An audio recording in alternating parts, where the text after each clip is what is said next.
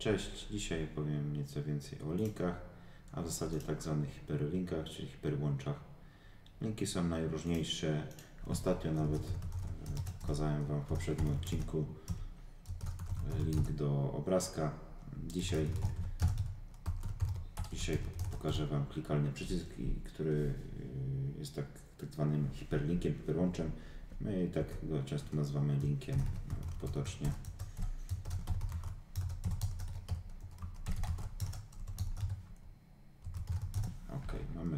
Szkielet dokumentu. No i nagłóweczek.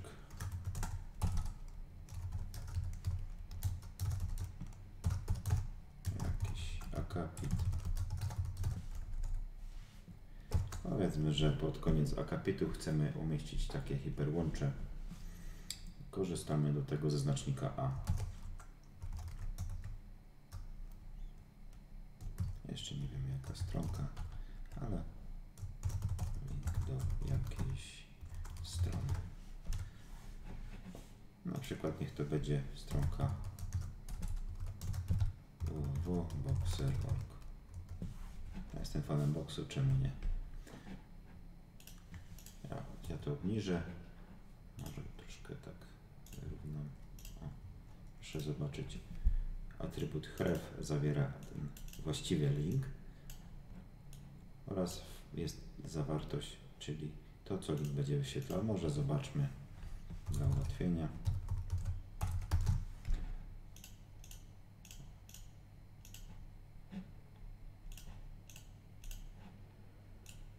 Zapisałem. Otwieramy. Widzicie, jest taki link. Ten atrybut chleb jest wymagany. Jeśli go nie ma, to nie ma żadnego linku. Jest tu pusty chleb, czyli no, a to jest unhook, czyli tak zwana kotwica, natomiast mm, potrzebujemy tego chlebu, żeby to miało sens. Klikamy. Widzicie, nasze hiperłącze działa. Przechodzi na stronę internetową, która jest gdzieś indziej w internecie. Oczywiście proszę zauważyć, tutaj mamy innego typu link. Y, Rozpoczyna się od file. File to jest protokół, y, który oznacza plik, y, tak naprawdę plik, który możesz znaleźć na dysku. Możesz to skopiować, tak? I wkleić tutaj. Więc tak naprawdę przeglądarki potrafią obsługiwać wiele protokołów, wiele rodzajów linków. Na przykład HTTP, czyli coś, co jest gdzieś na serwerze w HTTP w internecie, na przykład typowe strony internetowe, ale jak najbardziej pliki na komputerze e, protokołem file. Są różne inne protokoły, na przykład ja to skopiuję, wkleję, na przykład jakiś, podajmy jakiś e-mail, Robimy to w ten sposób. Mail to dwukropek i podajemy jakiś e-mail, który nie istnieje. Na przykład abcdfgh małpa coś tam kropka pl. Zapiszmy, odświeżmy i mamy e-mail. Klikamy i uruchamia się właśnie jakaś poczta.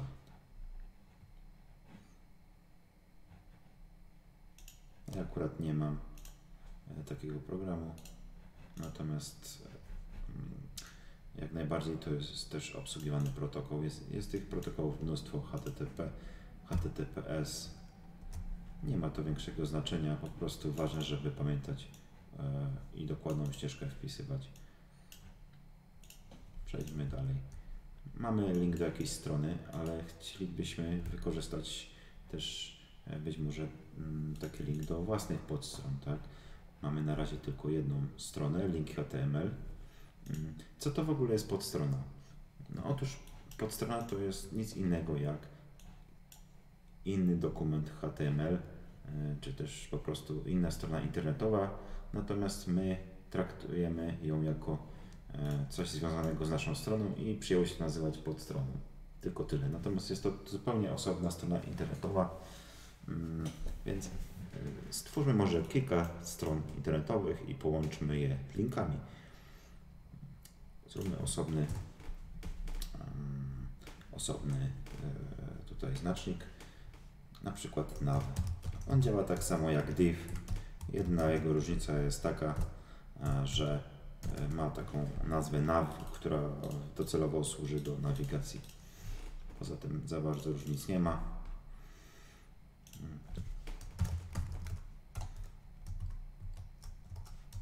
Niech będzie adres do podstrony. Proszę zobaczyć. Ja nie podaję tutaj żadnego HTTP, e, żadnego, żadnych znaczków, żadnych krzaków.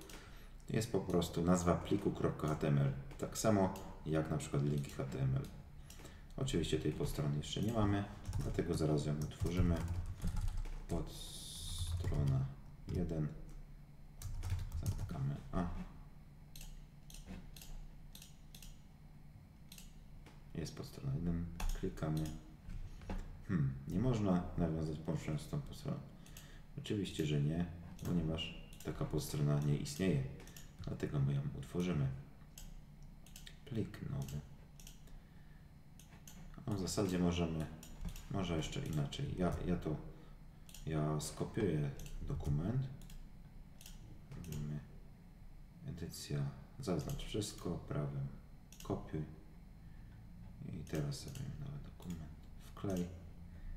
To nie będzie już podstrona linki, tylko podstrona pierwsza. A tutaj zrobimy o, jeszcze nagłówek, podstrona pierwsza. Powiedzmy, że nie chcemy mieć zupełnie inną treść, więc ja usunę ten akapit.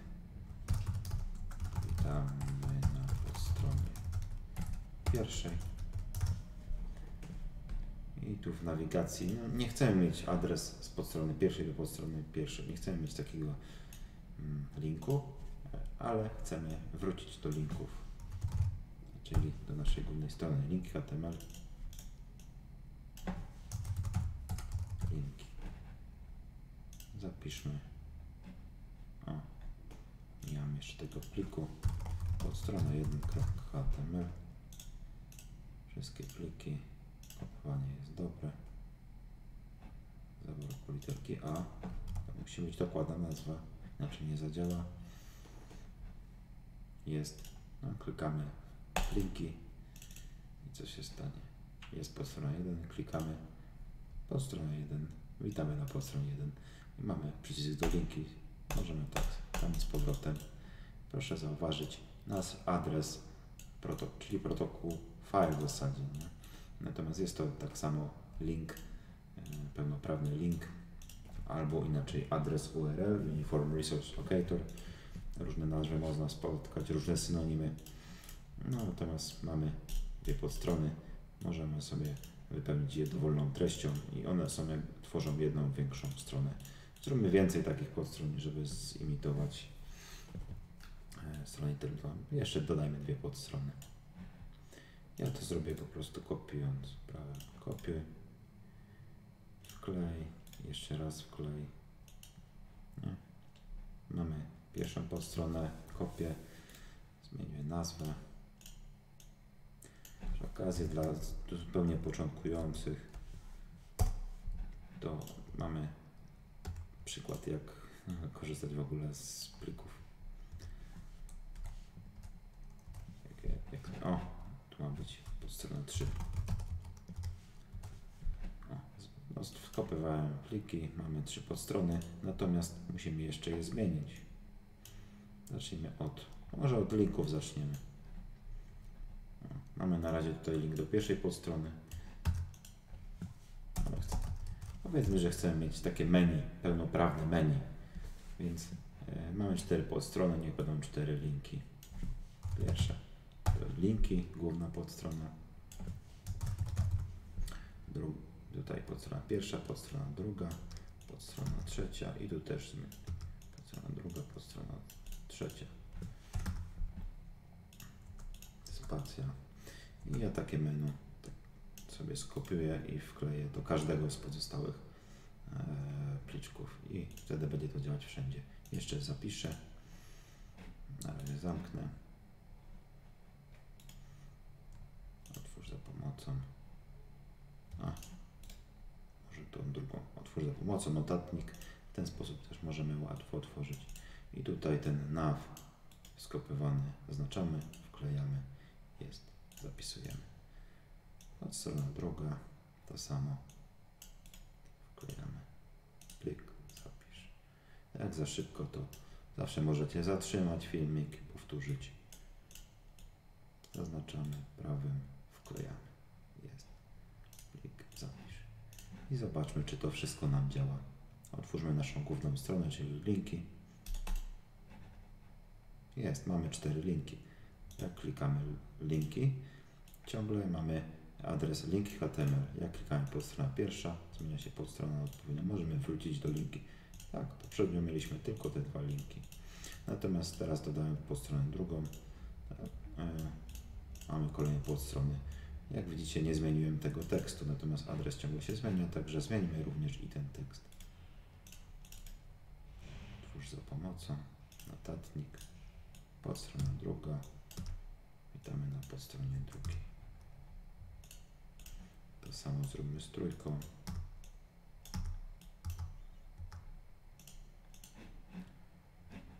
Witamy na podstronie trzeciej. Jeszcze raz. Jeden, dwa, trzy. Widzicie? Mamy wiele podstron. Na każdej podstronie możemy zupełnie inny HTML umieszczać. Ważne, żeby te linki y, pozwalały nam wracać. Wtedy mamy imitację y, czegoś, co jest jedną stroną i ma wiele podstron. A tak naprawdę to wszystko są osobne strony. Może jeszcze jedną rzecz chciałbym pokazać, jak e, wykorzystać e, no, na przykład mm, link do, e, do tego, żeby zagnieździć inną stronę internetową mm, na swojej stronie. Oczywiście na pierwszy rzut oka nie ma to sensu, tak? Po co nam czyjaś strona internetowa na naszej stronie? Natomiast pokażę Wam coś. Weźmy sobie na YouTubie.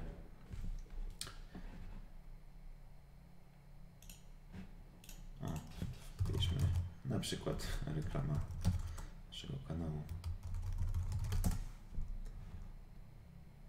Jest.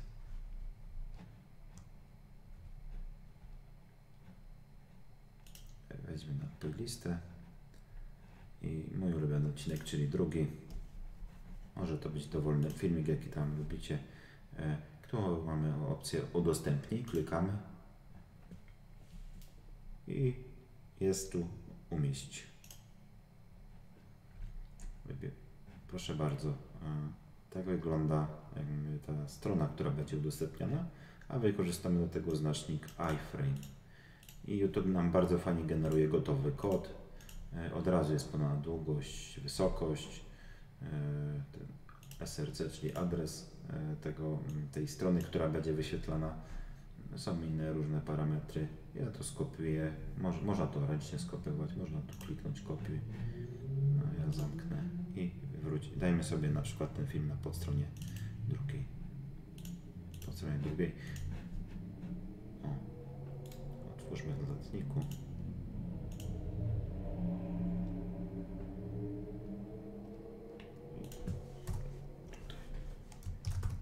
Akapit.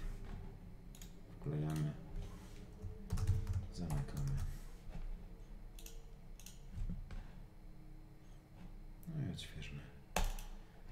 Tak, nasza główna strona, podstrona pierwsza nic, podstrona druga. Proszę bardzo, mamy e, zagnieżdżony taki element. Ten element jest tak naprawdę zewnętrzną stroną, ale YouTube nam już przygotował tą cały odtwarzacz. Możemy odtwarzać, możemy zmieniać głos, mm, jakość, tak. Mamy całą funkcjonalność YouTube'a, e, także polecam mm, w ten sposób zagnieżdżenia.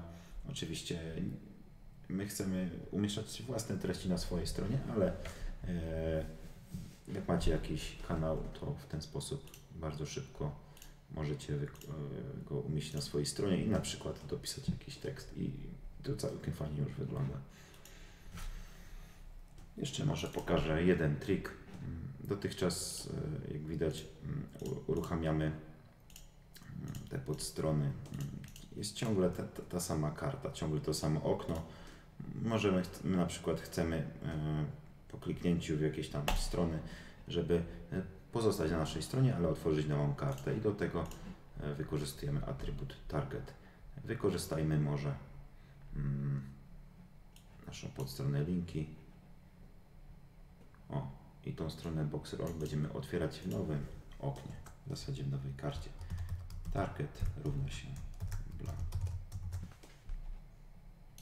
Wpisujemy, świeżamy linki i klikam. Widzicie, boxerolk jest wyświetlany w, wyświetlany w nowym okienku w nowej karcie. Tak, przełączałem pomiędzy kartami. Myślę, że to na dzisiaj wystarczy. Mm, Jadę, ja wgram e, ten projekt e, na GitHuba.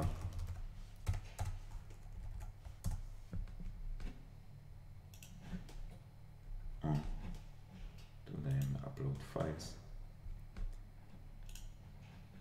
Tym razem mamy dużo plików, więc może chcemy zaznaczyć te wszystkie cztery linki. Ja tu wgrałem jeden, ale y, polecam Wam również, trzymając Ctrl, zaznaczyć sobie kilka plików. Wtedy one pojawią się tutaj i można je jednocześnie bardzo łatwo załadować. Ctrl plus kliknięcie. Nazwa lekcji, czyli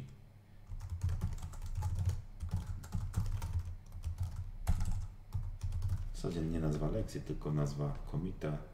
To jak chcemy, żeby e, ta zmiana, czyli wysłanie tych stron było e, widoczne mm, w historii naszego projektu. Teraz pliki są przetwarzane, mamy przetworzone.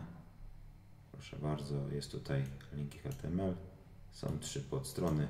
Oczywiście wszystko jest w jednym folderze wielkim, także to nam rośnie. Kiedyś może to uporządkujemy, natomiast spójrzmy na razie jak wygląda mm, o, nasza historia. Tak? Po kolei jest wszystko to, co robiliśmy e, w tych filmikach.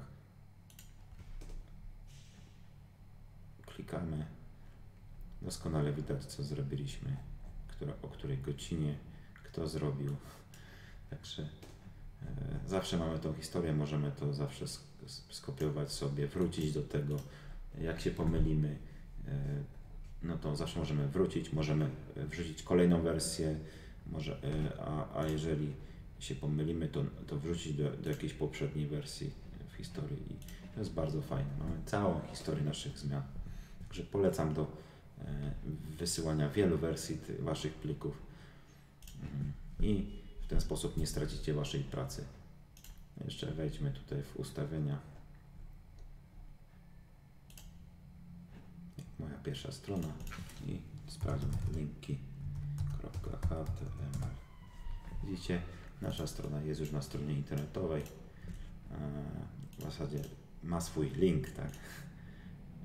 Jest to HTTPS, protokół, czyli szyfrowany HTTP. To jest domena, jest po domenie, jakby tu jest jeden, jeden folder, ale to może być długa ścieżka i w tym folderze moja pierwsza strona, który jest tak naprawdę nazwą repozytorium jest linki.html, czyli nasz dokument i zauważcie, jak się ta podstrona zmienia. Tutaj był protokół file, users desktop, czyli, czyli pulpit w zasadzie. To jest ścieżka, w której się znajduje mój pulpit, natomiast dalej jest to samo. No, podstrona druga, podstrona trzecia. No to myślę, że wszystko na dzisiaj. Dziękuję za uwagę i zapraszam do następnego odcinka na temat HTML. Dzięki, cześć.